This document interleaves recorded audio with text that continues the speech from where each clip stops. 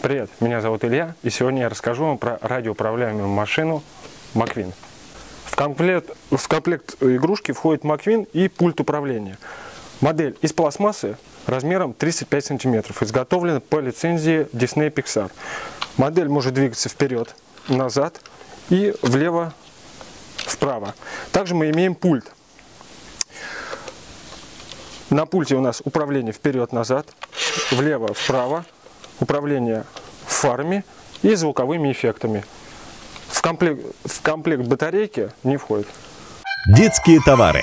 На купиребенку.ру. Москва, улица Павловская, 27, дробь 29. Три минуты пешком от станции метро Тульская.